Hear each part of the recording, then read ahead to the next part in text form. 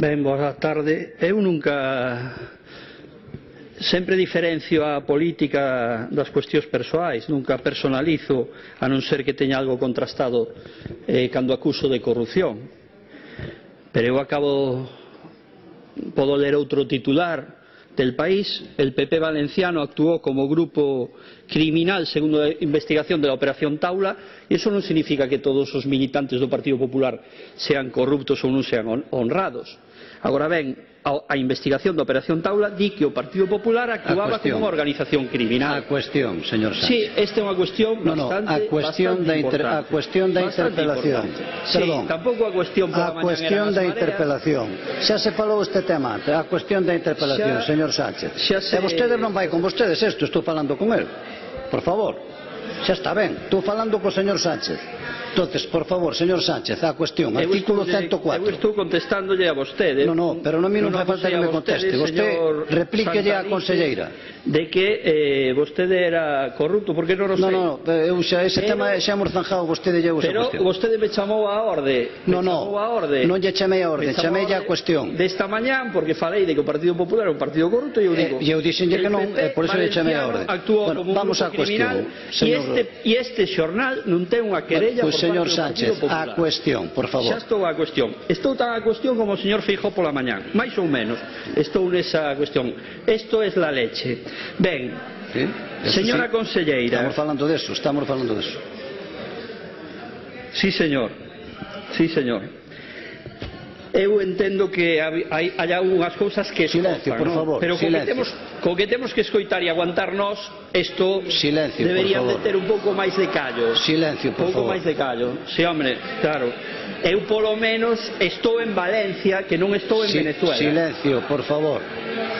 Estou en Valencia a 500 kilómetros non en Venezuela Silencio. Cada A- vez que se a ponen cuestión. así, me alegran As o tornenos están asustados. Mire, eh, mire o público, moito, os por lo tornenos menos- están asustados. menos Mire que imagen damos, por favor. algunha verdad. Os tornenos están asustados, por o amor de Dios, vaya cuestión, por favor. Señora conselleira, estou intentando falar. Señora conselleira, Silencio, por favor. Silencio. Señora conselleira. Silencio, xa sei que o pleno foi longo, pero silencio, por favor. Temos arriba un público infantil e non creo que sea moi boa imagen a que estamos dando. Pídolle a todos, a... a todos que demos unha mellor imaxe. Sí. Por favor. Por favor. Eu, eu bueno, pedindo, está levo... entendido o mensaxe se o queren coller. Está entendido. Gracias. Eu levo lle pedindo unha mellor imaxe ao Partido Popular dende hai moito tempo e non me fan moito caso, a verdad. Usted. Eh, ben, Eh, señora conselleira, facer análisis a touro pasado non é, non é nada útil para o sector non é nada útil para o sector. Eu agradezolle todos os datos, é certo que eu lle preguntei dos efectos do acordo do sector lácteo, pero cando vostede xustifica a situación nun análisis a touro pasado, eso non, é, non ten ningunha utilidade para o sector lácteo. Cando tuveron que facer vostedes un análisis de futuro, pois antes das negociacións da política agraria común.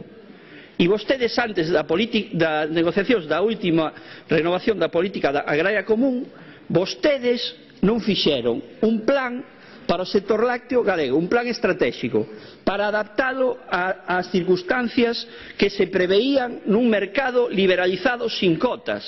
Era naquel momento cando tiñan que facer o análisis de que era o que necesitaban os gandeiros, para poder competir en igualdade de condicións, polo menos, co seu entorno. E vostedes non o fixeron.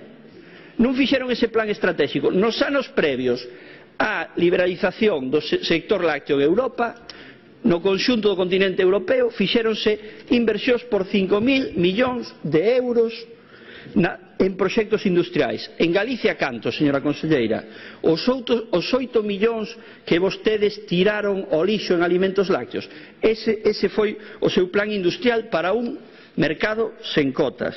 Polo tanto, os análisis hainos que facer con tempo e que cheguen a tempo.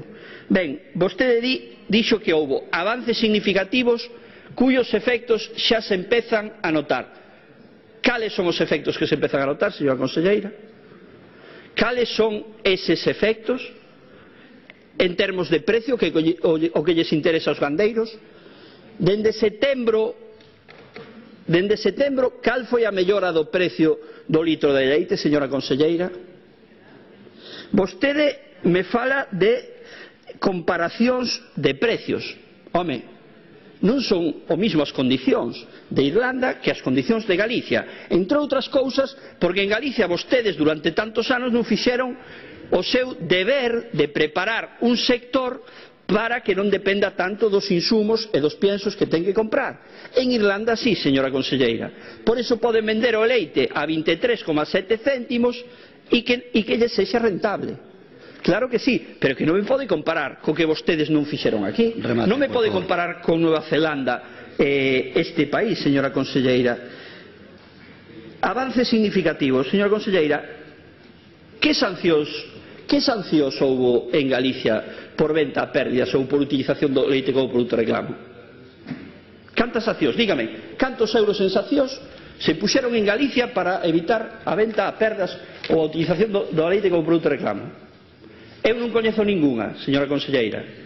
En tal caso, na legislación dende o ano 96 Gracias, había a posibilidade de que a Xunta intervira cando se atopaban casos de venta perdas e utilización como produto de reclamo e vostedes nunca actuaron, señora conselleira. Gracias, señor Sirve para algo a Xunta de Galicia? Gracias, señor Sánchez. Ten algunha utilidade a súa consellería no sector lácteo, Terminou o seu tempo, señor Sánchez. Ten algunha utilidade? Gracias. Que poden facer? Que medidas poden levar a cabo vostedes? Gracias. Gracias.